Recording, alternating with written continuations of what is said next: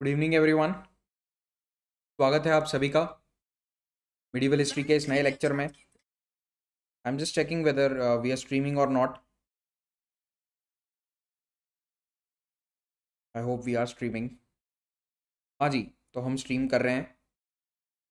स्वागत है आप सभी का मिडिवल हिस्ट्री के इस नए लेक्चर में। ये लेक्चर नंबर ट्वेंटी थ्री है इस सीरीज़ का और इसमें आज हम बात करने वाले हैं Aurangzeb and downfall of Mughal empire का। तो जो पिछले लेक्चर्स हैं, उसके अंदर हम ये सारे पुराने जो एम्परर्स हैं, उनके बारे में डिस्कस कर चुके हैं। जो पिछला लेक्चर था, उसमें मैंने जहांगीर और शाहजहां के बारे में डिस्कस किया था। Today we will discuss about the Mughal civil war Aurangzeb और उसके पॉलिसीज़ के बारे में कौन कौन से रिबेलियंस होते हैं और मुगल एम्पायर का या डायनेस्टी का डाउनफॉल क्यों होता है। 1707 में ये कहानी खत्म होती है। ये टेक्निकली मिडिवल हिस्ट्री का एंड है। जो ब्रिटिश हिस्टोरियंस ने हमारे हिस्ट्री को अलग अलग कालखंड में विभाजित किया है उसके अनुसार मिडिवल हिस्ट्री भारत का मध्यकालीन इतिहास 1707 में आकर समाप्त हो जाता है। लेकिन कुछ टॉपिक्स जो एडिशनल हैं, वो मैं आपको एक और लेक्चर में पढ़ाने वाला हूँ। फॉर एग्ज़ाम्पल मराठास और सिख। इनके बारे में मैं आपको नेक्स्ट लेक्चर में पढ़ाऊँगा तो एक लेक्चर हम और करेंगे। That would be lecture number twenty four तो दोस्तों, आगे बढ़ें। उससे पहले पाथ फाइंडर चैनल को सब्सक्राइब ज़रूर करें। आप सभी के प्यार और मोहब्बत के कारण हम आठ लाख सब्सक्राइबर का आंकड़ा पार कर चुके हैं। थैंक यू सो मच लेकिन मेरे ख्याल से अभी भी path finder is highly undersubscribed आप में से आधे लोग जो हमारे पास डेटा आता है, उसके अकॉर्डिंग आधे लोग अभी भी बिना सब्सक्राइब किए चैनल को देख रहे हैं। तो मैं रिक्वेस्ट करूँगा कि आप लोग सब्सक्राइब कीजिए और आपके जो अन्य फ्रेंड्स हैं एस्पिरेंट्स हैं, जो तैयारी कर रहे हैं, उनको भी आप इस चैनल के बारे में बताइए। मेरे लेक्चर के अपडेट्स और पीडीएफ आपको टेलीग्राम चैनल पर मिल जाएँगे। जितने भी मेरे मिडीवल हिस्ट्री के लेक्चर्स के पीडीएफ हैं, सारे टेलीग्राम चैनल पर अपलोड हो चुके हैं। प्लीज़ उनको जाकर आप डाउनलोड कर लीजिए। यूपीएससी 2024 और 25 की तैयारी जो एस्पिरेंट्स कर रहे हैं उनके लिए हमने एक बैच लॉन्च किया है, जिसका नाम है अग्निपथ बैच जो भारत का सबसे अफोर्डेबल बैच है, केवल आठ हज़ार रुपये में। आप यूपीएससी एग्ज़ाम की तैयारी कर सकते हैं। इस कोर्स का लिंक नीचे आपको पिंड कमेंट में मिल जाएगा। पिंड कमेंट यानी कि जो पहला कमेंट होता है, और वहाँ पर क्लिक करने पर आप जब जाएँगे तो जो भी प्राइस लिखा है महिपाल कोड यूज़ करने पर वो प्राइस एट थाउज़ेंड रुपीज़ पर आ जाएगा। हमारी टीम जो आपको इस कोर्स में पढ़ाने वाली है, वो आप सामने देख सकते हैं। और इसमें 900 घंटे की लाइव क्लासेस होने वाली हैं जिसमें प्रिलिम्स मेंस इंटरव्यू सबकी तैयारी करवाई जाएगी। Test series both prelims and mains की इसमें शामिल है और यहाँ पर हम मेंटोरशिप मेंस के लिए आपको अलग से उपलब्ध करवाएँगे। Okay, I found this on the web for mentorship means Karyapo. Check it out. हाँ तो हमारी सीरी मैडम जो जो हैं वो ज़्यादा ओवर एक्टिव हो जाती हैं और चालू हो जाती हैं। I have to switch it off कई बार चालू हो जाती है ये सीरी एनीवेज तो अभी आ जाते हैं हम हमारे टॉपिक पर। तो देखिए 1657 में शाहजहां हो जाता है बूढ़ा। शाहजहां की उम्र लगभग 65 66 ईयर्स ओल्ड है और उसके बीमार पड़ने पर यह अफवाह फैल जाती है कि बादशाह मरने वाला है और बादशाह जब मरने वाला है तो उसके चारों बेटों के बीच में एक होड़ मच जाती है कि कौन अगला बादशाह बनेगा। प्रॉब्लम ये थी, नंबर वन, शाहजहां खुद 65 66 का था। उसके बेटे सारे 40 साल के आसपास थे। समबडी वॉज़ 38 समवन वॉज़ 41 लगभग सारे बराबर उम्र के ही थे। एक दो साल का फ़र्क था सब में। तो ये चारों के चारों एक तो ठीक ठाक थे। All of them were governors ये उनके एक बचपन की पेंटिंग है, जो बनाई गई है मुगल पेंटर्स के द्वारा। तो ये साथ में पले बड़े थे, इनमें आपस में कॉम्पिटिशन काफ़ी था। लेकिन अब प्रॉब्लम यह है कि चारों ही बादशाह बनने के सपने लेकर बैठे थे। और क्योंकि मुगल हिस्ट्री के अंदर पिछले चार बादशाह कोई भी रूल के कारण नहीं बने थे, सब धक्के से ही बने थे। हुमायूं जो है, वो ज़रूर अपने पिताजी के द्वारा घोषित था कि ये मेरा बड़ा बेटा है, यही बादशाह बनेगा। लेकिन उसे भी अपने भाइयों से चैलेंज फेस करना पड़ा। अकबर को फॉर्चुनेटली कोई चैलेंज फेस नहीं करना पड़ा। थोड़ा सा चैलेंज मिला उसे, ज़्यादा नहीं। उसके बाद आप देखते हो जहांगीर को चैलेंज फेस करना पड़ा, शाहजहां को करना पड़ा। तो ये चारों ही सोचकर बैठे थे कि there is no rule of primogeniture primogeniture का मतलब होता है कि जो पहले पैदा हो गया, यानी कि जो बड़ा बेटा है, वो गद्दी का वारिस होगा। ऐसा कोई रूल मुगल डायनेस्टी में नहीं है। एंड टेक्निकली ऐसा कहीं पर कोई इतिहास के अंदर भारत में रूल नहीं रहा है कि बड़ा बेटा ही बैठेगा गद्दी पर। ये फॉलो होता था, एक परंपरा के रूप में निभाया जाता था, लेकिन ऐसा कहीं लिखित में कोई रूल नहीं है, ना ही हिंदू रूलर्स में था, ना ही इस्लामिक रूलर्स में था। तो चारों बेटे जो हैं, ये गद्दी के वारिस बनने के सपने देख रहे थे, लेकिन दारा शिको जो सबसे बड़ा था, उसको थोड़ा सा फेवर किया जाता था। अब दारा शिको के बारे में काफ़ी चीज़ें हिस्ट्री के अंदर कही गई हैं, लिखी गई हैं तो इसका ब्रीफ इंट्रोडक्शन आपको बता देता हूँ। Dara Shikoh was the eldest son of Shahjahan और शाहजहां ने इसको अपने जीवन काल में ऑफिशियली दो बार घोषित किया था कि ये मेरा वारिस बनेगा। He will become the next emperor ये अगला बादशाह है। ये शाहजहां अपने जीवन काल में दो बार घोषित करवा चुका था क्योंकि उसको पहले से पता था कि ये जो छोटे बेटे हैं, ये प्रॉब्लम करेंगे। अब ये कई प्रांतों का गवर्नर रह चुका था। ही वॉज़ अ गवर्नर जैसे कि परंपरा थी, बादशाह के बेटे को गवर्नर बनाया जाता था। तो ये चारों ही किसी ना किसी प्रांत के गवर्नर थे। और ये एक काफ़ी अनऑर्थोडॉक्स मुस्लिम व्यक्ति था। कहने का मतलब ये है कि although he was born in a Sunni Muslim family इसके पिता, इसका परिवार सभी सुन्नी मुस्लिम रिलीजन को फॉलो करते थे, लेकिन दारा शिको जो है, वो शुरुआत से सूफी संतों का ज़्यादा कंपनी रखना फेवर करता था। यहाँ पर एक पेंटिंग में आप देख सकते हो कि ये काफ़ी गरीब से दिखने वाले व्यक्ति के साथ प्रॉबेबली कोई साधु संत या एसेटिक टाइप का आदमी है, कोई पीर फकीर हो सकता है, उसके साथ बैठ के बातचीत कर रहा है। तो ये एक मुगल पेंटिंग में दर्शाया गया है। So he was quite fond of people like Sufi saints he was fond of Sikh saints इनके साथ बातचीत करना, धर्म के बारे में बातचीत करना, इसे काफ़ी पसंद था। और ये हिंदुइज्म और इस्लाम के अंदर कॉमन चीज़ें जानकर, देखकर उन्हें लिखता था। He had written a book about the common things about Hinduism and Islam और ये सिंक्रेटिक कल्चरल इंट्रैक्शन में बिलीव करता था। इसका मतलब है कि ये मानता था कि दोनों धर्मों के बीच में बहुत सारी दो चीज़ें सेम है और इन दोनों धर्मों को मिलना अल्टीमेटली ये दोनों मिलेंगे मिलेंगे इन द सेंस कि इन दोनों के बीच की कॉमन चीज़ें आएँगी, जुड़ेंगी, लोग एक एक साथ रहेंगे। तो इसने एक किताब भी लिखी थी जिसका नाम था मजमा उल बहरेन, जिसका मतलब होता है कॉन्फ्लुएंस ऑफ़ टू सीज यानी कि दो दरिया या दो समुद्र, हिंदुइज्म एंड इस्लाम कैसे मिलेंगे, उसके ऊपर इसने एक किताब भी लिखी थी। ये काफ़ी ये काफ़ी डिवोटेड था to revelation of the mystical and pluralistic affinities between Sufic and Vedantic speculation इसका क्या मतलब है? तो देखो, ये दो चीज़ों का बड़ा ज्ञाता था। एक तो Sufi religion that is Sufism जो इस्लाम में होता है, और वेदों का भी इसको बहुत ज्ञान था। इसने संस्कृत भाषा जानी थी, सीखी थी, और सभी वेद उपनिषद, पुराण को इसने अच्छे से पढ़ा था। In fact he was a very good friend of Sufi Mian Mir, जो कि लाहौर के एक बहुत बड़े सूफी सेंट थे, और उस जमाने में बहुत फ़ेमस थे, अभी भी फ़ेमस हैं। और सेवेंथ सिख गुरु गुरु हर्राय से भी इसने दोस्ती करी थी। और पचास पुराणों को दारा शिको ने ट्रांसलेट किया था खुद पर्शियन में। तो he was a very avid translator तो ये पढ़ाई, लिखाई, किताबें पढ़े लिखे इंटेलेक्चुअल लोगों के साथ उठना, बैठना, इसी तरह के इसके शौक थे।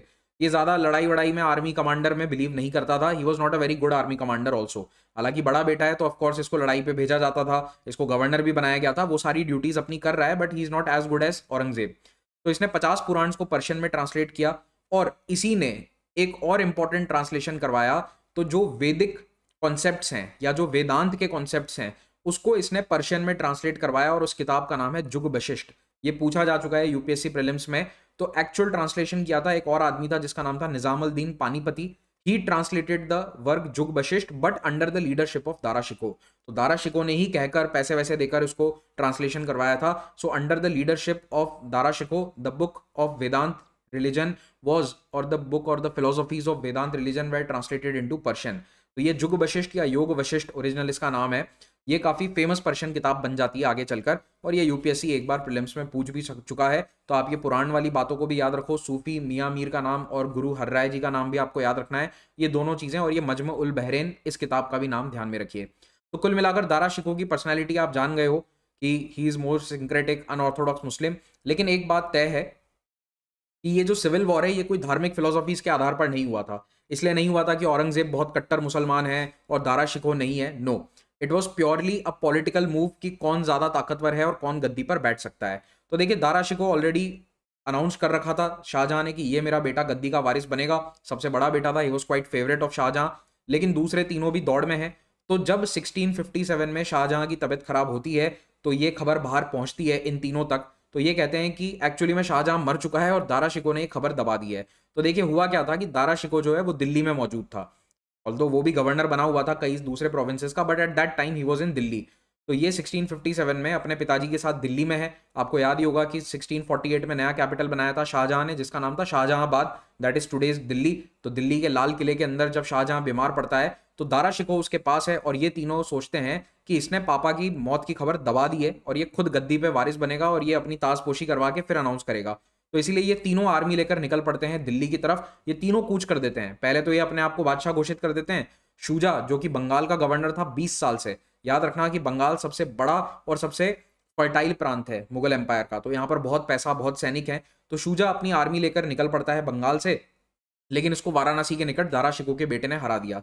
दारा शिको भी अपनी आर्मी भेजता है under the leadership of his own twenty year old son तो वो शूजा को आर्मी में हरा देता है एंड शूजा को उसके बाद भागना पड़ जाता है towards Arakan that is Burma. आज का जो बर्मा है, वहाँ पर अराकान या रखाइन प्रोविंस जो है, उस दिशा में शूजा को भागना पड़ता है अपने परिवार के साथ, और वहाँ पर उसकी डेथ हो जाती है। दूसरा जो, तीसरा क्लेमेंट है that is Aurangzeb he is the third son Aurangzeb इस वक्त डेक्कन में गवर्नर है। औरंगज़ेब पहले भी आठ दस साल डेक्कन में गवर्नर रह चुका था। From 1636 to 44 also he was the governor of Deccan और 1656 में इसे फिर से डेक्कन भेजा गया था। इसके पहले औरंगज़ेब ने अफ़गानिस्तान में भी आर्मी कैंपेन किया था और भी कई जगह उसने आर्मी कैंपेन्स को लीड किया था। So he was a very good military commander a very able military commander लेकिन कहते हैं कि शाहजहां को ये पसंद नहीं था, अपना तीसरा बेटा ड्यू टू वॉट एवर उसको शायद नहीं होगा तो नहीं होगा पसंद। तो कुल मिलाकर औरंगज़ेब जो है वो डेक्कन में है।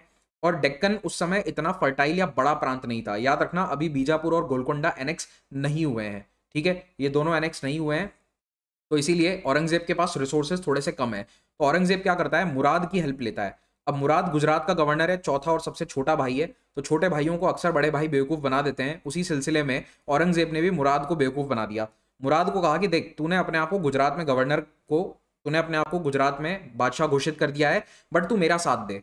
अपन दोनों मिलके चलते हैं दिल्ली, अपन शूजा को हराएँगे और फिर उसके बाद एम्पायर को आधा आधा बांट लेंगे। तू रख लेना बंगाल, बिहार वाला जो ईस्टर्न वाला पूरा पार्ट है और ये जो अफ़गानिस्तान से लेके वाराणसी या बनारस तक वाला इलाका है, ये मैं रख लूँगा। तो अपन है ना पूरे एम्पायर को बांट लेंगे। मुराद बोलता है, बड़े भैया का आइडिया बहुत अच्छा है और बड़े भैया के साथ साथ ये भी अपनी आर्मी जोड़कर चल पड़ते हैं और दोनों कूच कर देते हैं आगरा और दिल्ली की दिशा में। तो इन दोनों की जो आर्मी है, वो दारा शिको की आर्मी से लड़ती है and Dara Shikoh's army is defeated ठीक है? तो ये लड़ाई हुई थी। धर्मतपुरी जो है, उज्जैन के आसपास में एक जगह है तो बैटल ऑफ़ धर्मतपुरी इसका नाम है। तो धर्मतपुरी नाम की जगह पर ये लड़ाई होती है। तो थोड़ा सा मैप देख लो। आपको आइडिया रहना चाहिए। तो कौन कहाँ पर है? Murad is in Gujarat, Shuja is in Bengal and Aurangzeb is in Deccan. ठीक है? और दारा शिको जो है, वो कहाँ बैठा है? वो दिल्ली में बैठा है। तो ये यहाँ से आता है, लेकिन हार जाता है, वापस इसको भागना पड़ गया। बर्मा में जाकर इसकी डेथ हो गई।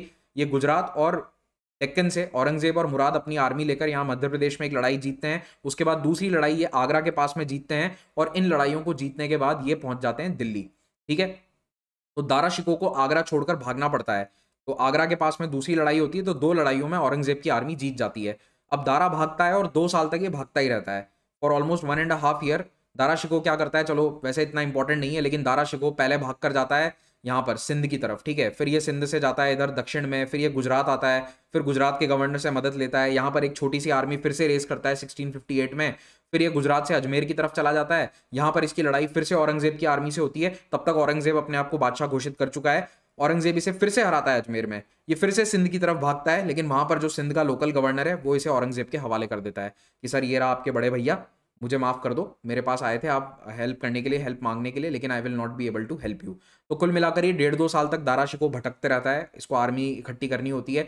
He is able to put up a fight in 1658 59 but ultimately he is captured और इसको जेल में मार दिया जाता है। बड़ी दर्द दर्दनाक मौत होती है दारा शिको की। इसका गला वाला काट के पता नहीं बहुत कुछ करता है इसके साथ Aurangzeb. Not story that is for you know a good time मतलब कि कोई खाना वाना खाते हुए देख रहा हो तो अभी मैं नहीं बता रहा इसीलिए।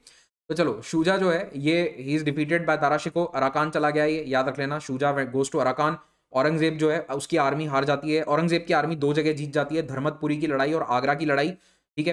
तो ये मध्य प्रदेश में है, धर्मत नाम की जो जगह है, ये गाँव है छोटा सा, ये एमपी में आता है तो battle of Dharmat and battle of Agra, फिर उसके बाद दारा शिको जो है, ये चला जाता है ultimately is killed arrested and killed in captivity in 1659 और मुराद छोटे भाई जिसको बेवकूफ़ बनाया था औरंगज़ेब ने कि तुझे दे दूँगा आधा साम्राज्य, उसको कुछ नहीं मिलता, उसको भी जेल में डाल देता है औरंगज़ेब और दो तीन साल बाद उसे भी मार देता है।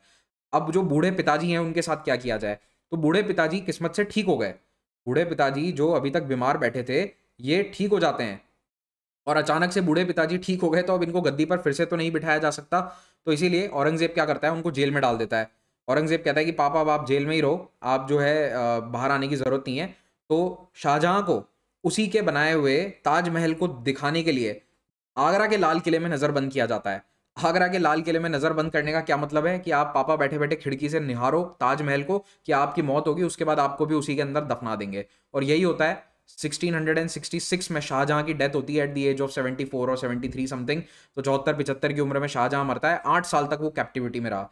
तो बेसिकली औरंगज़ेब ने अपने बाप को भी आठ साल तक जेल में रखा। मतलब जेल प्रॉपर जेल नहीं थी, आगरा के किले के अंदर कुछ कमरों में बंद कर रखा था। दैट्स इट ठीक है? उसको कहीं बाहर आने जाने की परमिशन नहीं थी। और औरंगज़ेब अपने आप को 1658 में घोषित कर देता है बादशाह। तो 1657 से 58 के बीच में ये एक साल तक सिविल वॉर चलता है। This civil war was devastating for the Mughal empire एक तो इसमें क्या हुआ कि सारे नोबल्स आर्मी कमांडर गवर्नर्स ये साइड ले लेते हैं। तो एक हमेशा के लिए खट्टा स्वाद रह जाता है। मतलब खट्टा स्वाद कैसे? देखिए, जैसे कि जो जोधपुर के राजा थे he was a senior mansabdar in the Mughal army तो जोधपुर के राजा ने किसका साथ दिया था? दारा शिको का। तो औरंगज़ेब हमेशा जोधपुर के राजा को एक मतलब गलत नज़र नज़र से देखेगा या उनको अच्छी पोस्टिंग्स वगैरह नहीं मिलेंगी और वो आगे चलकर जोधपुर में रिबेलियन का कारण बनेगा। कैसे? अभी आगे बता दूँगा।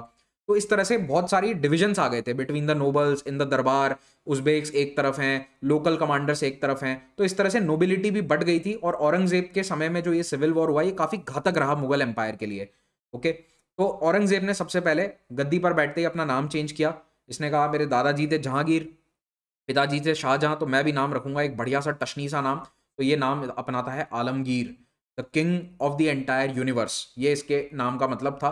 तो आलमगीर इसका ऑफिशियल नाम था, लेकिन इसको औरंगज़ेब के नाम से ही पूरी दुनिया जानती है। और लगभग 50 साल का इसका भी शासनकाल रहता है। Just like Akbar he also had a very long rule तो ये गद्दी पर बैठा तब ये था ऑलमोस्ट फोर्टी वन ईयर्स का फोर्टी वन ईयर्स का था। और पचास साल और रूल करता है। So he died at the age of almost ninety eighty nine या नाइनटी इसकी उम्र थी जब इसकी डेथ होती है। तो ये कंजर्वेटिव ऑर्थोडॉक्स सुन्नी मुसलमान है। और इसको लोग ज़िंदा पीर कहने लगे थे। अब जनरली पीर की उपाधि दी जाती है जब कोई होली व्यक्ति, इस्लाम के अंदर कोई आदमी बहुत ही गणमान्य व्यक्ति था या होली मैन था, उसकी डेथ होने के बाद उसे पीर कहा जाता है। आपने सुना होगा, पीर फकीर कहा जाता है लोगों को। लेकिन औरंगज़ेब अपने ज़िंदा टाइम में ही इतना होलीनेस उसने पा ली थी कि उसको ज़िंदा पीर कहने लगे। क्यों? क्योंकि वो राजा महाराजा की तरह नहीं रहता था, वो एक बादशाह की तरह नहीं रहता था, उसे सिंपल लिविंग पसंद थी। He use to live like a saint अपने कपड़े, अपनी जो नमाज़ की टोपी है, वो खुद बनाता था, अपने कपड़ों को खुद बुनता था। तो इसके कोई राजसी शौक नहीं थे कि हीरे मोती से जड़े हुए मुझे कोई कुर्सी बनवानी है, कोई पीकॉक थ्रोन बनवाना है। इस तरह का इसका कोई शौक नहीं था। ना ही कोई बहुत महँगे महँगे कपड़े पहनने का शौक है, ना कोई हीरे जवाहरात बनवाने का शौक है। हाँ इस फोटोग्राफ में आप पेंटिंग में देख सकते हो कि थोड़ा बहुत इसने कुछ कुछ पहना हुआ है but it is still very less than what Shahjahan and Jahangir had तो इसीलिए ये इसकी जो लिविंग थी लाइफ थी, वो बहुत ही सिंपल थी और इसने अपनी सिंपल लाइफ पूरे दरबार पे थोपने की कोशिश करी। इसने मुगल दरबार में म्यूज़िक डांस पेंटिंग सब बंद करवा दिया। तो जो पेंटिंग इसके जहांगीर और शाहजहां के समय में होती थी, वो सारी बंद करवा दी गई। All the dance music musicians everybody was banned और दरबार में ये कह दिया कि अपने घर पे भी मत करवाओ। तो इसने इस्लाम का काफ़ी स्ट्रिक्ट इंटरप्रिटेशन लागू करने की कोशिश करी। और अपने इन्हीं रिलीजियस रूल्स को समाज में या देश में लागू करवाने के लिए इसने मॉरल कोड्स को एनफोर्स कराया by the name of muhtasib तो ये मोहतसिब याद रख लेना, काफ़ी इंपॉर्टेंट है। एक महजर पढ़ाया था अकबर के टाइम पे, वो भी इंपॉर्टेंट है। और मोहतसिब क्या है? ये भी काफ़ी इंपॉर्टेंट है। तो औरंगज़ेब की रिलीजियस पॉलिसी जो है, ये काफ़ी कट्टर थी।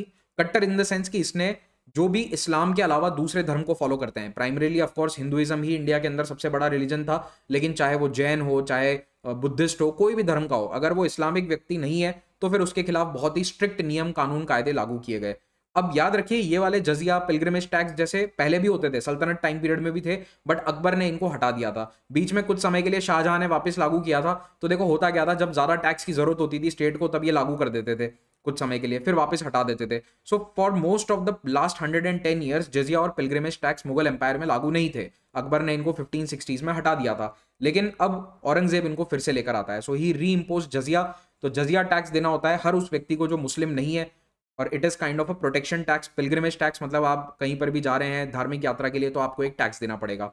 फिर जितने भी नए मंदिरों के कंस्ट्रक्शन है, वो सारे बैन करवा दिए, और पुराने मंदिरों के रिपेयर भी इसने बंद करवा दिए, और कई मेजर टेम्पल्स को तोड़ा गया। तो औरंगज़ेब ने सबसे फ़ेमस जो मंदिर तोड़े थे, या तुड़वाए थे, वो थे काशी विश्वनाथ का मंदिर, जो कि बनारस में है, और इस मंदिर को अभी फिर से रिसेंटली रेनोवेट किया गया है। मथुरा में कृष्ण जन्मभूमि का जो मंदिर है, वो भी तोड़ा गया और इन दोनों की जगह पर मस्जिद बना दी गई। अब ये दोनों ही रिसेंटली काफ़ी न्यूज़ में रहे हैं, पिछले एक दो सालों से तो इस पर मैंने भी वीडियोस बनाए हैं, आप चाहें तो पाथफाइंडर पर सर्च करके उन्हें देख सकते हैं कि इन मंदिरों का क्या इतिहास रहा है। अब ये दो केवल मंदिर नहीं थे, और भी कई मंदिर थे जिनको तोड़ा गया, ठीक है? और इसके अलावा जो हिंदुओं के धार्मिक त्यौहार हैं, जैसे कि होली, उसके सेलिब्रेशन को रोकने की कोशिश करी गई। तो पहले मुगल दरबार में होली खेली जाती थी, लेकिन इसने सब बैन करवा दिया और कहा कि आम आदमी दिल्ली में भी कोई होली नहीं खेलेगा। अब ठीक है दूर दराज के जैसे जो एरिया हैं, जो लोकल राजाओं के कंट्रोल में, वहाँ पर रिलीजन फॉलो हो रहा था। तो यहाँ पे जैसे कि राजस्थान के जो राजपूत किंग्स हैं, वो अपने यहाँ पर रिलीजन को पूरी तरह फॉलो करवा पा रहे थे, लेकिन जो डायरेक्ट मुगल कंट्रोल में टेरिटरीज है, वहाँ पर उसने काफ़ी स्ट्रिक्ट एनफोर्समेंट किया था इन रूल्स का। और एक और खास बात ये थी कि ये सुन्नी इस्लाम के अलावा दूसरे जो पंथ हैं इस्लाम में, जैसे कि शिया इस्लाम या फिर जो सूफीज्म को फॉलो करने वाले लोग हैं, उनके भी ये खिलाफ था। उनका भी काफ़ी इसने प्रोसिक्यूशन किया। जैसे कि इसने मोहरम का सेलिब्रेशन बंद करवा दिया। Well technically Muharram is not a celebration फिर भी इसने मोहरम के ताजिए निकलने या मोहरम के जो पूरे जुलूस निकलते थे, वो बंद करवा दिया। ये कहकर कि Shia Islam is not true Islam only Sunni Islam is the true Islam so he was not even tolerant towards other Muslim sect इसने कई सूफी सेंट्स को पैकअप करवा के भेज दिया इंडिया से बाहर।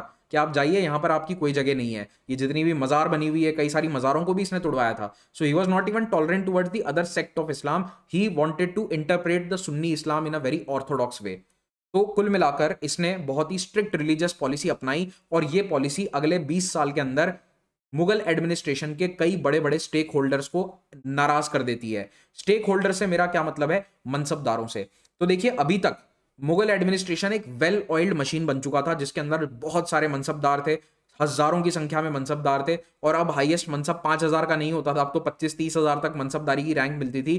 तो राजपूत, जाट, सिख, ये सभी मनसबदार में थे। वेल सिख नहीं थे मनसबदार में उस समय तक, लेकिन जाट, राजपूत, कई सारे जो मराठास, ये सभी बड़े बड़े मनसबदार थे, और ये सब मोस्टली औरंगज़ेब की रिलीजियस पॉलिसी के कारण नाराज़ हो जाते हैं।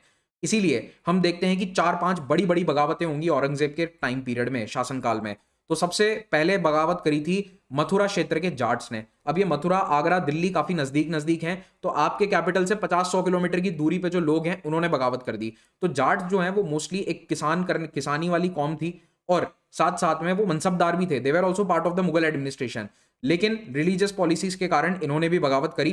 तो जो दो फ़ेमस लीडर्स हैं, उनके नाम है गोकुल और राजा राम उसके अलावा एक चूड़ामन भी है, उनका नाम भी लिख लीजिए आप। तो ये सारे जो हैं, राजस्थान, यूपी और जो दिल्ली के आसपास का क्षेत्र है, इस क्षेत्र के जाट लीडर्स थे जिन्होंने रिवोल्ट किया अगेंस्ट द मुगल एडमिनिस्ट्रेशन और बहुत फेमसली इन्होंने अकबर की ग्रेव को जाके उजाड़ दिया। They went and destroyed the tomb of Akbar इतना, इतनी बड़ी बगावत हो गई कि आप अपने कैपिटल में अपने परदादा की ग्रेव को नहीं बचा पा रहे हो। ये हालत हो गई थी मुगल एडमिनिस्ट्रेशन की फॉर सम टाइम लेकिन उसके बाद अल्टीमेटली ये सबको या तो अरेस्ट कर लिया गया या फिर लड़ाई में मारे गए तो कुल मिलाकर ये रेबेलियन क्रश कर दिया जाता है। लेकिन बाय द टाइम 1690 आएगा, जाट्स धीरे धीरे अपना एक नया स्टेट बना लेंगे। ठीक है? तो बाद में हम देखेंगे कि अट्ठारहवीं शताब्दी में जाट स्टेट्स डेवलप हो जाएँगे भरतपुर में, ठीक है? उसके अलावा जो मथुरा वाला एरिया है, ये वाला एरिया आगरा के आसपास की territory this will come under the rulership of local Jat chief ये अपना एक नया किंगडम स्थापित कर लेंगे जब औरंगज़ेब की डेथ होने वाली है उस समय।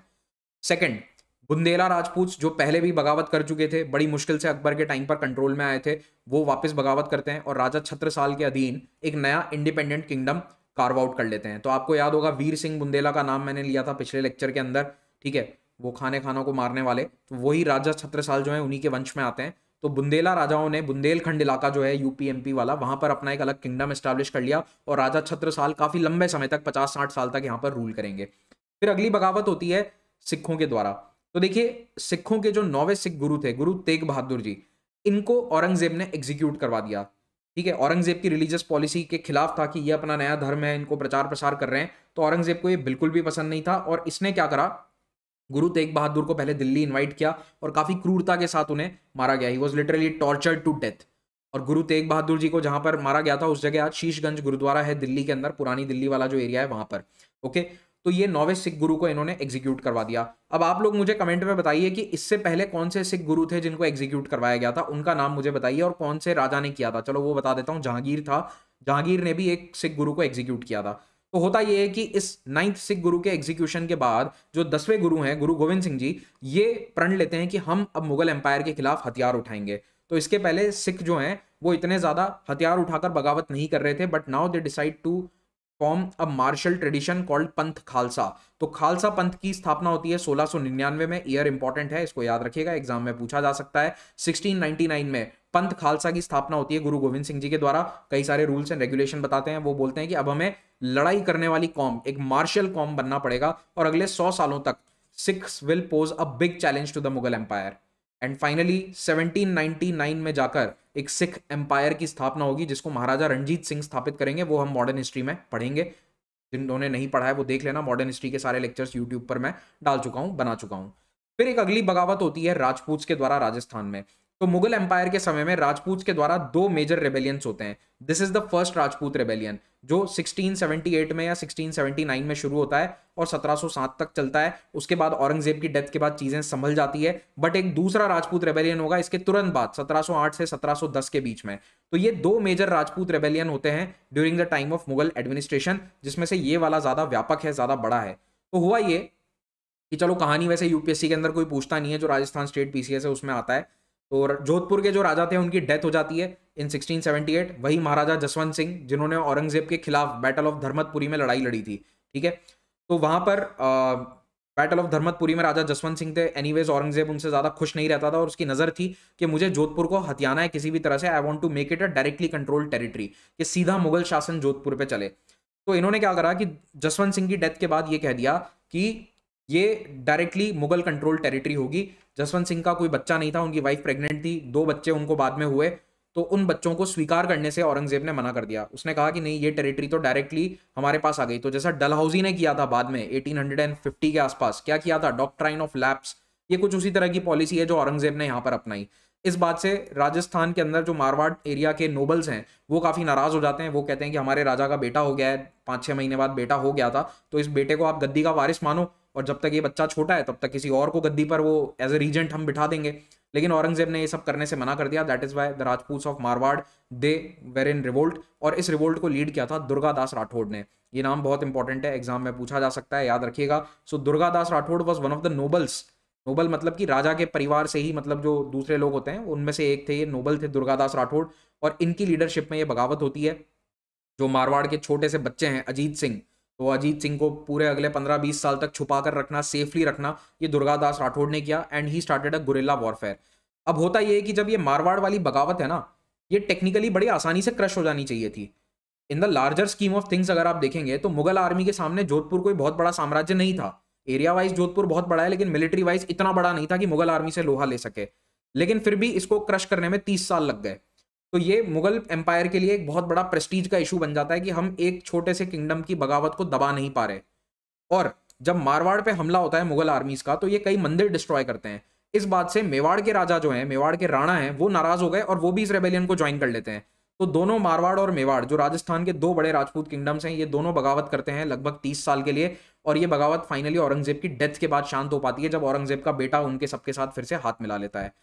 अल्टीमेटली आप देखोगे कि पूरे एम्पायर के अंदर बगावत हो रही है, ठीक है? पंजाब में भी बगावत हो रही है, उधर अफगान्स ने भी प्रॉब्लम्स क्रिएट करी थी इनके लिए, अफ़गानिस्तान वाले एरिया में जो अफगान थे, पठान थे, पख्तून थे, उन्होंने भी बगावत करी और फाइनली सबसे बड़ी बगावत मराठास की।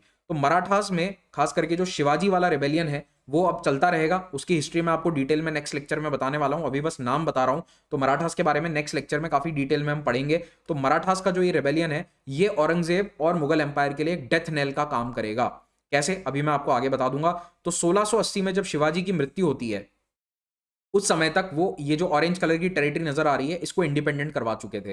ये ऑरेंज कलर की टेरिटरीज को वो मुगल एम्पायर से छीन चुके थे, वो या निकाल चुके थे, और इसी के साथ दक्षिण के अंदर औरंगज़ेब को खुद आना पड़ता है, क्योंकि ये सारी टेरिटरी उनके हाथ से जा रही थी। एक और बड़ा चैलेंज मिलता है औरंगज़ेब को अहोम्स की तरफ़ से। अहोम्स याद है ना ईस्ट इंडिया की तरफ़ असम वाले एरिया के अंदर वो डायनेस्टी है जो 600 साल रूल करेगी। From 1228 to 1826 there will be the rule of Ahoms in Assam तो अहोम्स ने जो लड़ाई जहांगीर के समय से अहोम्स ने शुरू करी थी, शाहजहां के टाइम कंटिन्यू हुई थी, वो अब औरंगज़ेब के समय में भी बड़े स्तर पर, व्यापक स्तर पर लड़ाई होती है। तो मुगल्स ने कई सारे कैंपेन्स या आर्मीज को भेजा यहाँ दक्षिण ईस्ट इंडिया के अंदर। 1662 में कैंपेनिंग स्टार्ट होती है 1667 में हुई बैटल ऑफ़ ईटा खुली बहुत इंपॉर्टेंट है स्टार मार्क कर लेना। इस लड़ाई में अहोम्स ने गुवाहाटी को मुगल्स से छीन लिया। आपको याद होगा कि शाहजहां के समय में गुवाहाटी मुगल्स के कब्जे में चला गया था। अब फिर से अहोम्स ने गुवाहाटी को छीन लिया और इसी गुवाहाटी शहर को जीतने के लिए फिर से एक बड़ी आर्मी भेजी गई 1671 में मुगल्स के द्वारा और इसमें होती है लड़ाई सराय घाट की। तो ये सराय घाट और ईताखुली ये दोनों गुवाहाटी के पास ही हैं। तो battle of Sarai Ghat literally एक घाट है, ब्रह्मपुत्र नदी पे जिसका नाम है सराय घाट वहाँ पर ये लड़ाई होती है और इसमें मुगल्स की एक बहुत बड़ी डिफीट हुई। तो भारत के इतिहास में बहुत कम नेवल बैटल्स हैं, उनमें से ये एक है। नेवल बैटल का मतलब समझते हो? जहाजों पे जहाज़ मतलब जो बोट्स होती है, उन पर ये लड़ाई हो रही है and these boats are on the Brahmaputra river तो लिटरली जो ब्रह्मपुत्र नदी ऐसे बह रही है, गुवाहाटी शहर यहाँ पर है, ये ब्रह्मपुत्र नदी ऐसे बह रही है, यहाँ कहीं सराय घाट है तो इस सराय घाट के आसपास में मुगल शिप्स और अहोम शिप्स के बीच में ये लड़ाई होती है, और इस लड़ाई में अहोम्स की डिसाइसिव विक्ट्री हुई। दोनों तरफ़ से जो लड़ाई लड़ने वाले कमांडर्स हैं, उनके नाम याद रखने हैं आपको। अहोम्स की तरफ़ से कमांडर थे आर्मी के लसित बोरफुकन। लसित बोरफुकन एक लेजेंडरी नाम है इंडिया की हिस्ट्री के अंदर। क्योंकि जब भी हम ज़िक्र करते हैं राणा प्रताप का या छत्रपति शिवाजी का तो उसी समय लसित बोरफुकन को लोग कई बार भूल जाते हैं but he is also a very legendary figure in India's military history और इन्होंने इस लड़ाई के अंदर despite fighting against the odds याद रखना कि मुगल नेवी काफ़ी बड़ी थी इस समय, फिर भी इन्होंने इस लड़ाई में अहोम्स को जिता दिया। So he was the military और आर्मी कमांडर लसित बोरफुकन और उधर औरंगज़ेब की आर्मी को लीड कर रहे थे आमेर के राजा राम सिंह। तो याद रखना कि जो लड़ाई हुई थी हल्दी घाटी की, उसमें राजा मान सिंह थे, वो भी आमेर के थे, और ये राजा राम सिंह जो है, ये भी उसी डायनेस्टी के कचवाहा वंश के हैं और आमेर के रूलर हैं। But he is defeated his army is defeated उसके बाद देखो ये अहोम्स के खिलाफ अपना जो कैंपेन है, ये खत्म कर देते हैं। 1682 के बाद से इन्होंने अहोम्स को परेशान नहीं किया, ये बंगाल की तरफ़ ही सीमित रहे तो औरंगज़ेब ने वहाँ पर अल्टीमेटली हार मान ली। अब औरंगज़ेब की अगर बहुत बड़ी मिलिट्री विक्ट्री थी तो वो थी डेक्कन में। आपको याद होगा कि 1636 में औरंगज़ेब अपने पिताजी के समय औरंगज़ेब को बनाया गया था governor. When his father was the king 1636 उस समय Aurangzeb was made the governor of Deccan Aurangzeb अपने पापा को कंटिन्यूसली बोलता रहता था कि, पापा, चलो बीजापुर और गोलकोंडा को एनेक्स कर लेते हैं। लेकिन शाहजहां जो है, ऐसा माना जाता है कि थोड़ा उसका सॉफ्ट कॉर्नर था बीजापुर गोलकोंडा को लेकर, या तो सॉफ्ट कॉर्नर था या फिर जो मैंने डिस्कस किया था पिछले लेक्चर में कि वो बड़ा स्मार्ट था कि ये आपस में खुद ही लड़के खत्म हो जाएँगे या फिर कमज़ोर होकर खत्म हो जाएँगे तो वो बार बार औरंगज़ेब को रोक लेता था। इनफैक्ट एक बार तो औरंगज़ेब काफ़ी नाराज़ हो गया था। He had attacked Bijapur and Golconda. दोनों को इसने हरा भी दिया था। छह महीने लड़ाई लड़कर ये दोनों को बिल्कुल हराने के कगार पर था। और इन दोनों सुल्तान ने क्या करा? सीधे शाहजहां से कम्युनिकेशन स्थापित कर दिया कि, सर, आपका बेटा हमारे दरवाजे के बाहर खड़ा है प्लीज़ इसको बोलो, वापस चला जाए। तो शाहजहां जो है, अपने बेटे को ऑर्डर देता है कि, बेटा, Aurangzeb go back to your capital local जो गवर्नर हो आप जहाँ के, उस कैपिटल पे चले जाओ। We don't need to annex Bijapur Golconda Aurangzeb was very angry कि पापा ये क्या लगा रखा है आपने? इतनी मेहनत से मैं छह छह महीने लड़ाई लड़कर इनको हराने के कगार पर हूँ। बस एक धक्का मुझे और मारना था और ये दोनों रियासतें गिर जाती और आप मुझे एनेक्स नहीं करने दे रहे। बट शाहजहां इसको करने नहीं देता अपने जीवन काल में बीजापुर गोलकोंडा को एनेक्स और आपको याद हो तो केवल अहमदनगर को एनेक्स किया था। तो ये औरंगज़ेब का एक बहुत पुराना सपना था उसकी जवानी के दिनों का कि मुझे बीजापुर गोलकोंडा एनेक्स करने हैं। So when he was the governor in Deccan उसने बहुत कोशिश करी, नहीं हो पाया। फिर उसने बादशाह बनने के बाद भी कोशिश करी तो भी काफ़ी सालों तक ये जीत नहीं पाया। एक्चुअली होता क्या था ना कि जब भी ये आर्मीज भेजते थे, कुछ ना कुछ नेगोशिएशन हो जाती थी। बीजापुर गोलकुंडा के डिप्लोमेट्स पर वेरी गुड अपेरेंटली क्योंकि वो बार बार नेगोशिएट कर लेते थे, मुगल्स के साथ कुछ ना कुछ ट्रीटी कर लेते थे, और इस तरह से वो पचास साल तक उन्होंने अपना साम्राज्य बचा लिया। हालाँकि कई बार उनको टेरिटरी देनी पड़ी, सर झुकाना पड़ा शाहजहां के सामने। मतलब लिटरली शाहजहां की छत्र छाया में आ गए थे बट फिर भी इनका साम्राज्य पानी में नहीं, मिट्टी में नहीं मिला दिया गया just like Ahmednagar. But finally 1686 और 87 में औरंगज़ेब हैड इनफ ये खुद 1681 में अपनी आर्मी लेकर डेक्कन में आता है। लगभग सात साल की लड़ाई के बाद बीजापुर और गोलकोंडा को हरा दिया जाता है। Both of them dynasties are finished दोनों डायनेस्टीज को हमेशा के लिए समाप्त कर दिया जाता है and their territories are annexed into the Mughal empire तो औरंगज़ेब के समय मुगल एम्पायर एकदम से बड़ा हो गया। पहले जहाँ बाउंड्री इधर तक आया करती थी, अब वो बाउंड्री अचानक यहाँ तक आ गई। तो आप इस मैप में देखोगे कि बाबर ने यहाँ तक एक्सपांशन किया था, अकबर ने यहाँ तक किया था, जहांगीर शाहजहां डेक्कन में ज़्यादा एक्सपांड नहीं कर पाए थे, लेकिन औरंगज़ेब ने अपने समय में बहुत बड़ा इलाका दक्षिण भारत का मुगल एम्पायर में जोड़ लिया। अब ये एक अच्छी बात भी थी कि सोलह में मुगल एम्पायर अपने चरम पर है। याद रखना ये स्टेटमेंट कई बार पूछ लिया जाता है मेंस के अंदर कि मुगल एम्पायर अपने जेनित पर या अपने चरम पर कब है? 1687 में। तो वो अपने चरम पर तो है, लेकिन यहीं से उसके डाउनफॉल की कहानी भी शुरू हो जाती है, क्योंकि इतना बड़ा एम्पायर मैनेज करना बहुत ही मुश्किल है। तो देखिए, बीजापुर, गोलकोंडा चितगोंग ये सब एनेक्स किया गया। असम के कुछ इलाके एनेक्स किए गए। गुवाहाटी से आगे के नहीं कर पाए थे, क्योंकि वो हार गए थे बैटल ऑफ़ सरायघाट लेकिन फिर भी आसाम का थोड़ा सा जो हिस्सा है, वो इन्होंने एनेक्स कर लिया था। तो औरंगज़ेब ने एनेक्सेशन काफ़ी किए। एम्पायर को काफ़ी ज़्यादा बड़ा बना दिया उसने। ठीक है? और आप चाहो तो इस मैप का या तो स्क्रीनशॉट ले लेना। बहुत ही अच्छा मैप है। जो यहाँ पर बनाया हुआ है। सिमोन नेटचेव ने ये मैप क्रिएट किया है। ही इज़ एन इलिस्ट्रेटर तो thanks to him if you are watching this बहुत ही शानदार मैप इन्होंने बना रखा है। तो इस मैप में आप देख सकते हो कि कैसे एक्सपांशन होता है। तो ये जो औरंगज़ेब के टाइम वाला एक्सपांशन है, ये लाइट ग्रीन कलर में आपको दक्षिण में नज़र आएगा और जो मराठा टेरिटरीज हैं, शिवाजी ने अपने जीवन काल में जो एनेक्स कर ली थी, वो यहाँ ऑरेंज कलर में नज़र आ रही है। ठीक है? अगेन रिपीट कर रहा हूँ कि शिवाजी के बारे में नेक्स्ट लेक्चर के अंदर डिटेल में हम पढ़ेंगे, इसीलिए उसमें बहुत ज़्यादा डिटेल में मैं नहीं जा रहा। ब्रीफली बता देता हूँ तो देखिए, औरंगज़ेब 1681 तक उत्तर भारत में था, अपने कैपिटल दिल्ली, आगरा में, लेकिन लगातार उसके आर्मी कमांडर्स दक्षिण में डेक्कन में फेल हो रहे थे। वो इन विफलताओं से इतना नाराज़ हो जाता है कि वो खुद उठकर बोलता है कि अब बादशाह को खुद जाना पड़ेगा। वो जैसे थैनोस बोलता है ना, मार्वल में fine I do it myself कुछ उसी तरह से औरंगज़ेब भी डायलॉग मारता होगा दरबार में कि fine I do it myself और ये 1681 में खुद अपने आर्मी की कमान लेता है। कम से कम दो लाख की आर्मी को लेकर ये दक्षिण की तरफ़ निकल पड़ता है और अपने जीवन के अगले सत्ताईस साल ये वापस दिल्ली नहीं लौट पाया। इमेजिन करो, गया था सोच कर कि एक या दो साल में वापस आ जाऊँगा, लेकिन ये भी वो लाल सिंह चड्ढा की तरह दौड़ता रह गया पूरे ज़िंदगी एक कोच से दूसरे कोच तक। और वापस घर नहीं लौट पाता है, ठीक है? तो ट्वेंटी सेवन ईयर्स ये कर क्या रहा था डेक्कन में? He was basically fighting the Marathas Bijapur, Golconda. तो शुरुआती सात आठ साल तो बीजापुर और गोलकोंडा से लड़ाई होती है। 1686 और 87 में ये दोनों हार जाते हैं, इनको अनेक्स कर लिया गया, फिर तो घर आ जाते। नहीं, उस समय चैलेंज किससे मिलता है? शिवाजी से। No not Shivaji. याद रखना, जब औरंगज़ेब डेक्कन गया था, Shivaji had already died Shivaji की नेचुरल कॉजेज से 1680 में मृत्यु हो गई थी और औरंगज़ेब उसके अगले साल डेक्कन पहुँचा था।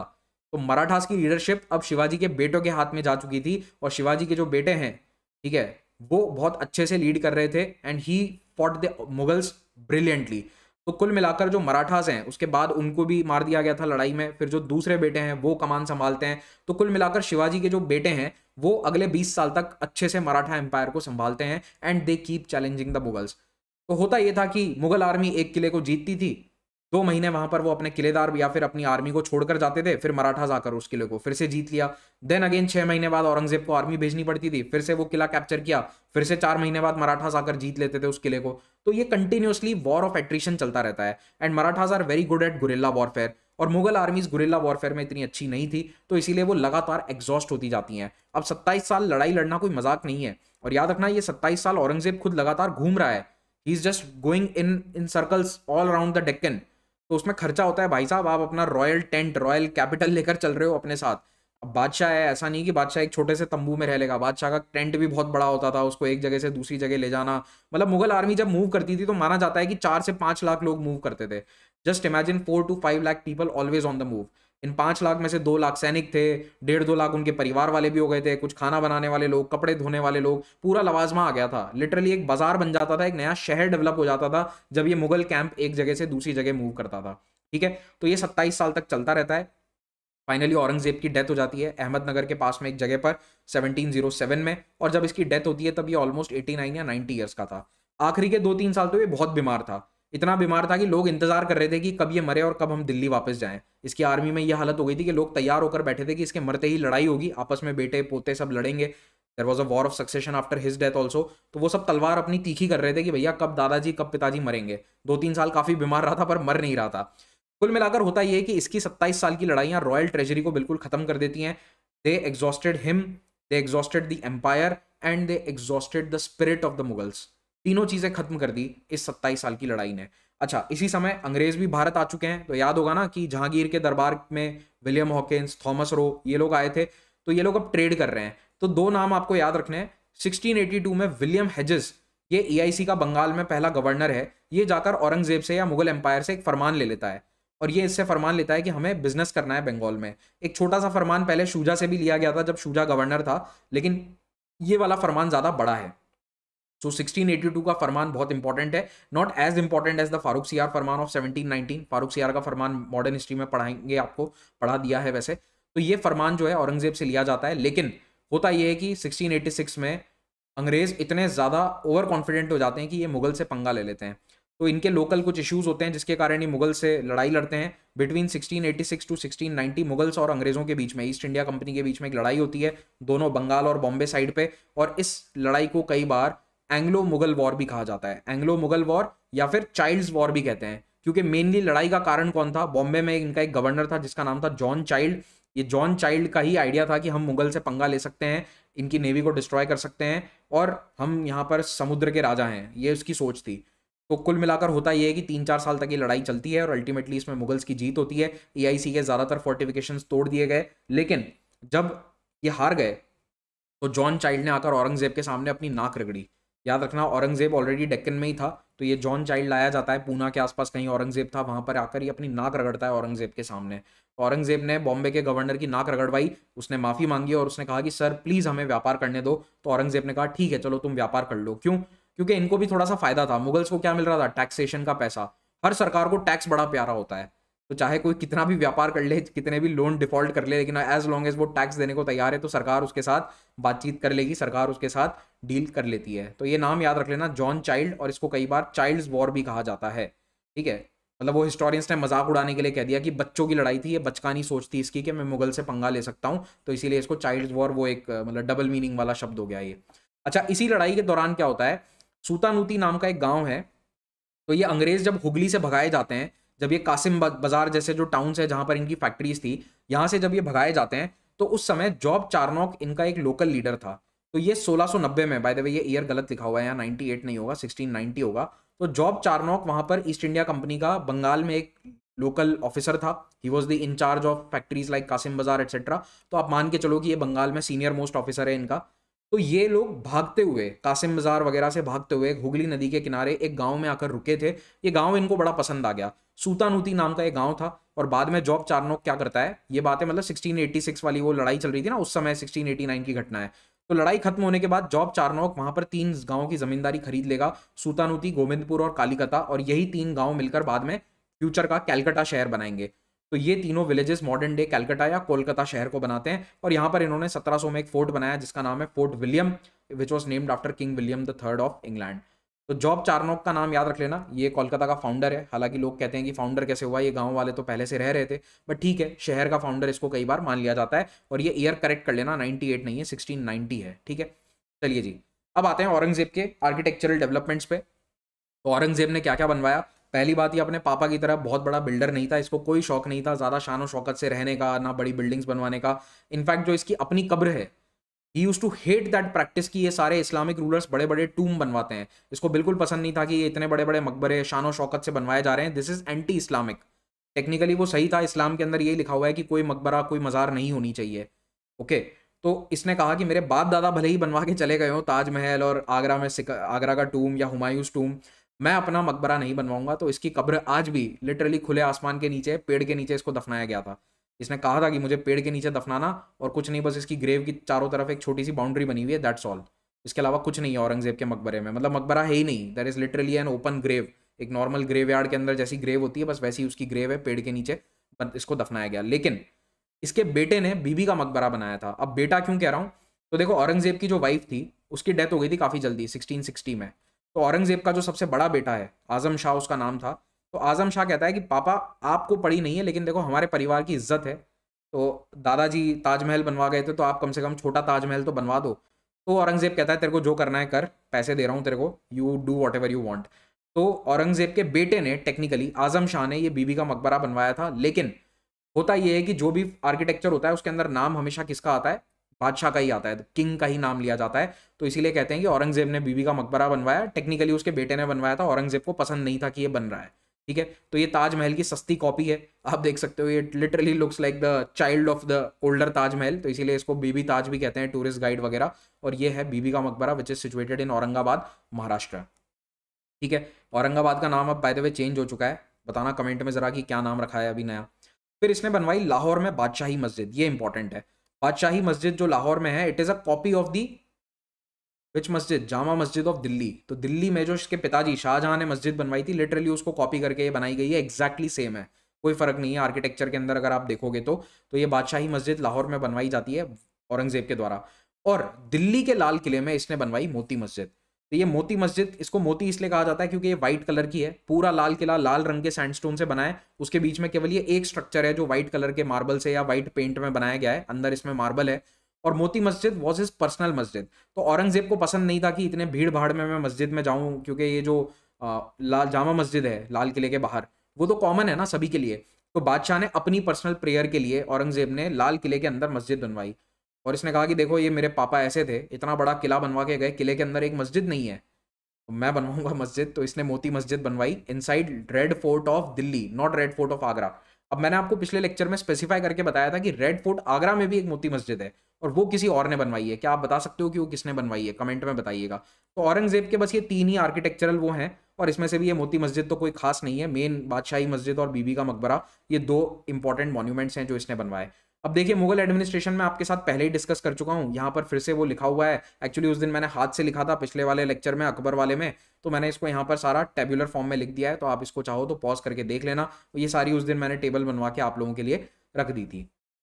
कुछ छोटी मोटी जानकारियाँ हैं जो एसएससी या वनडे एग्जामिनेशन में पूछी जाती हैं। मुगल एम्पायर को कई बार गन पाउडर एम्पायर कहते हैं। क्यों? क्योंकि इसमें ज़्यादातर लड़ाइयाँ बारूद के दम पर या गन पाउडर के दम पर जीती गई।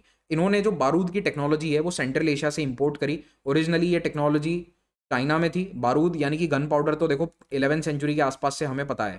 ठीक है? दुनिया में टेंथ इलेवन सेंचुरी में बारूद आ गया था। लेकिन बारूद को तोप में डालकर उससे गोला छोड़ने की जो टेक्निक है, ये भारत के अंदर मुगल्स ही लेकर आए थे। तो मुगल्स ने तोपें बनानी सीखी और उन तोपों को इतना परफेक्ट किया कि कोई उनके सामने टिक ना पाया। इनफैक्ट तोप बनाने की टेक्निक इन्होंने बहुत रिलीजियसली सीक्रेट रखी थी। सौ साल तक किसी को पता नहीं चलने दिया था कि तोप कैसे बनाई जाती है। फाइनली आमेर के राजाओं को पता चल गया तो उन्होंने अपने वहाँ पर बहुत सारी तोपें बना दी। तो आज भी अगर आप आमेर के किले में जाएँगे तो उसके पास में एक जयगढ़ का किला है, वहाँ पर आपको बहुत सारी तोपें देखने को मिलेगी in Jaipur okay later on ये जो दक्षिण वाले किंगडम से इनको भी पता चल गया था तो एक बार टेक्नोलॉजी आउट हो जाती है तो फिर वो पब्लिक डेटा बन गया। फिर देखिए सेवनटीन सेंचुरी में दो नए क्रॉप्स थे टोबैको और मेज ये भारत लाए जाते हैं पोर्चुगीज के द्वारा। और इसमें से टोबैको मुगल एम्पायर में बहुत पॉपुलर हो गया। ये पोर्चुगीज तो मुगल एम्पायर में बैठे ही रहते थे, हमेशा मुगल दरबार में ये बैठे रहते थे। तो ये लेकर आते हैं टोबैको को दरबार में और इसको औरंगज़ेब ने बैन करवा दिया क्योंकि ये एक नशा था, ठीक है?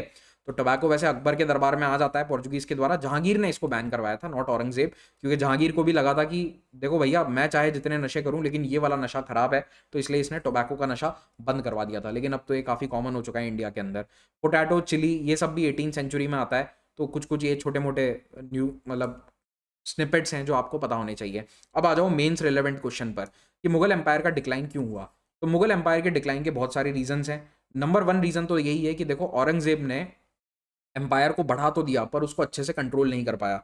So the empire disintegrated rapidly in fact Aurangzeb की डेथ के पंद्रह साल के अंदर अंदर मुगल एम्पायर आधा रह गया था। बिखर गया था मुगल एम्पायर दक्षिण जा चुका था ईस्ट जा चुका था, सब कुछ उनके हाथ से चला गया। और उसकी कहानी पूरी मैंने मॉडर्न हिस्ट्री के अंदर बता रखी है। प्लीज़ मेरे मॉडर्न हिस्ट्री के लेक्चर नंबर वन और टू को देख लेना, आपको सब कहानी समझ में आ जाएगी।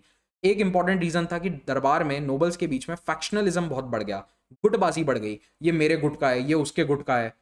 ये सैयद ब्रदर्स का अलग गुट बन गया। तो ये गुटबाजी क्यों बढ़ी क्योंकि 1657 के सिविल वॉर में अलग अलग नोबल्स ने अलग अलग गुट ने अलग बादशाह के बेटे का साथ दिया था। दे सपोर्टेड डिफरेंट प्रिंसेस और जब ये अलग अलग लोगों को सपोर्ट करते हैं तो वो फिर फैक्शनलिज्म बढ़ता गया धीरे धीरे एंड आफ्टर औरंगजेब्स डेथ ये और बड़े स्तर पर हो जाता है। नो लॉ ऑफ़ सक्सेशन कोई फिक्स नहीं है कि कौन अगला वारिस बनेगा गद्दी का तो इसीलिए बहुत सी लड़ाइयाँ होती है, फ्रेटर्नल वॉर्स यानी कि भाई भाई के बीच में लड़ाई, जिसके कारण एम्पायर का बहुत नुकसान होता है। 1657 वाली लड़ाई तो थी बहुत बड़ी, और उसके बाद औरंगज़ेब की डेथ के बाद भी एक और बड़ी लड़ाई हुई थी, और उसमें भी बहुत सारे लोग मारे गए। Lakhs of soldiers were killed lakhs and crores of rupees was wasted क्योंकि आपस के अंदर ये मुगल प्रिंसेस लड़ रहे हैं। ठीक है? भाई भाई लड़ रहे हैं भाई भतीजा लड़ रहे हैं, और इन लड़ाइयों में बहुत पैसा और एनर्जी कंज्यूम हो गया। फिर औरंगज़ेब की जो रिलीजियस और डेक्कन पॉलिसीज़ हैं, वो पूरी तरह से डेक्कन को एलियनेट कर देती हैं। एलियनेट का मतलब लोगों को इतना नाराज़ कर दिया कि अब कभी इनको कोई सपोर्ट नहीं करेगा। तो औरंगज़ेब के जाने के बाद में डेक्कन में मुगल्स को सपोर्ट करने वाला कोई नहीं बचता। पहले फिर भी इनको कुछ कुछ नोबल्स बीजापुर वगैरह के भी सपोर्ट कर लेते थे। आपको याद होगा तो अहमदनगर के भी कुछ नोबल्स इनके साथ थे। मराठा नोबल्स भी कुछ इनके साथ आ गए थे। लेकिन औरंगज़ेब की पॉलिसी के कारण सब दूर हो जाते हैं। फिर वीक सक्सेसर्स तो औरंगज़ेब के बाद जेन्यूनली कोई ताकतवर शासक इनके पास नहीं आता है। If you remember Shah Jahan Jahangir they were all very good military commander Shah Jahan तो बहुत अच्छा मिलिट्री कमांडर था, औरंगज़ेब भी बहुत अच्छा मिलिट्री कमांडर था, लेकिन आगे वालों में किसी में वो बात नहीं है। तो मुगल आर्मी पूरी तरह से डिमोरलाइज हो जाएगी। फिर इतने लंबे डेक्कन के कैंपेन के कारण ट्वेंटी सेवन ईयर्स तक इनको फाइनेंशियल डिफिकल्टीज झेलनी पड़ी। मुगल एम्पायर पूरा कंगाल हो चुका था, सत्रह सौ दस ग्यारह के पास उसके पास पैसा नहीं है। फिर इतना बड़ा एम्पायर जब आप बना लेते हो, तब आपको कंट्रोल करना वैसे जेन्यूनली मुश्किल हो जाता है। इसीलिए कम्युनिकेशन के साधन नहीं है। फिर आपके पास ट्रांसपोर्ट के मॉडर्न साधन नहीं है तो आपको संदेश दिल्ली से पहुंचाना है, मान लीजिए टूवर्ड्स कर्नाटका तो संदेश पहुँचने में कम से कम एक महीना लग जाएगा। आर्मी पहुंचानी है आर्मी पहुँचाने में छह महीने लग जाएँगे दिल्ली से दक्षिण में। तो इसीलिए इतना बड़ा एम्पायर कंट्रोल करना काफ़ी मुश्किल है। मान लो कोई बगावत कर देता है कर्नाटका में या फिर महाराष्ट्र में तो आप क्या करोगे? पाँच छः महीने आपकी आर्मी को पहुँचने में लगेंगे, तब तक वो जीत चुका है। और यही हुआ, इसीलिए औरंगज़ेब को ट्वेंटी सेवन ईयर्स तक खुद डेक्कन में रहना पड़ा। और उसके कारण नॉर्थ इंडिया के अंदर वो फैक्शनलिज्म बढ़ गया। तो फैक्शनलिज्म बढ़ने का एक बहुत बड़ा कारण ये भी है कि भैया दरबार में जो सबसे मज़बूत व्यक्ति है, बादशाह खुद, बादशाह तो है ही नहीं दरबार में। तो ये बाकी के जितने लोग हैं, ये अपने आप में गुटबाजी करना स्टार्ट कर देते हैं and that is one of the big reason कि मुगल दरबार कमज़ोर पड़ गया। ठीक है? देन नादिर शाह का हमला होता है 1739 में। Nadir Shah is the ruler of Iran फिर अहमद शाह अब्दाली ही is the ruler of Afghanistan. तो इन हमलों से लगातार दिल्ली कमज़ोर पड़ जाती है, और इन्होंने कभी भी मुगल्स ने सी पावर को सीरियसली नहीं लिया। मुगल्स ने, चाहे अकबर हो, शाहजहां हो, जहांगीर हो, किसी ने भी नेवी बनाने की नहीं सोची। इनकी नेवी छोटी सी होती थी नदी वदी पे चलने वाले जहाज़ होते थे they never had blue sea capabilities ठीक है? ब्लू ओशन कैपेबिलिटी का क्या मतलब होता है कि आपकी नेवी जो समुद्र पर राज कर सके, पूरे अरेबियन सी को क्रॉस कर सके, ऐसी नेवी नहीं थी। याद है आपको कि अकबर भी हज पे जाने के लिए या अपने परिवार वालों को हज पे भेजने के लिए पोर्चुगीज नेवी पे डिपेंडेंट था। तो यूरोपियन पावर्स ने इसका बहुत फ़ायदा उठाया, खास करके पोर्चुगीज और ब्रिटिश और इन्होंने इंडिया पर कब्जा जमा लिया। तो 1707 में जब औरंगज़ेब की डेथ होती है, उसके बाद मुगल एम्पायर तेज़ी से बिखरेगा। बाय 1721 काफ़ी सारे एरियाज़ अलग हो चुके हैं, हैदराबाद, बंगाल, अवध, ये सब अपने आप को इंडिपेंडेंट घोषित कर देंगे। तो इसकी कहानी हम पढ़ेंगे मॉडर्न हिस्ट्री के लेक्चर्स में तो इसको आप वहाँ पे देखिएगा। अभी के लिए ये औरंगज़ेब वाला लेक्चर हमारा समाप्त होता है। एक लेक्चर और बचा है मिडिल हिस्ट्री के अंदर that will be the last lecture उसको कल ले आएँगे आपके लिए, जिसमें मराठास और सिक्स के बारे में चर्चा करी जाएगी। सी सैट का जो हमारा कोर्स है, इसको आप अवेल कर सकते हैं। इम्तियाज़ सर का कोर्स फ़र्स्ट जुलाई से स्टार्ट हो रहा है। प्रिलिम्स की और मेंस की अलग से टेस्ट सीरीज़ भी आप अवेल कर सकते हैं if you are not a part of Agnipath batch जो बैच का हिस्सा है, उसके लिए ये फ्री है। हमारा हिंदी मीडियम का बैच स्टार्ट हो रहा है पंद्रह जुलाई से, जिसको दीपक सर लीड कर रहे हैं। सेम एट थाउज़ेंड रुपीज़ इसकी प्राइस है और ऑलरेडी इसके कई फैकल्टीज़ हम आपको मिलवा चुके हैं। वेद सर हैं, दीपक सर हैं, इम्तियाज़ सर हैं, ये आपको हिंदी मीडियम बैच में भी पढ़ाने वाले हैं। हमारा पर्सपेक्टिव का नया एपिसोड लॉन्च हो चुका है। हिंदी मीडियम के टॉपर्स को हम लेकर आए हैं। प्लीज़ वो वीडियो देखिए। खास करके जो हिंदी माध्यम से उनके लिए बहुत ही नेसेसरी या अच्छे इंसाइट्स आपको मिलेंगे। सोशल मीडिया पर आप हमारे चैनल्स के साथ जुड़ सकते हैं। टेलीग्राम चैनल पर और आपको इन लिंक्स पर भी हमारे पीडीएफ मिल जाएँगे। So do join the Telegram channel thank you so much have a great day good night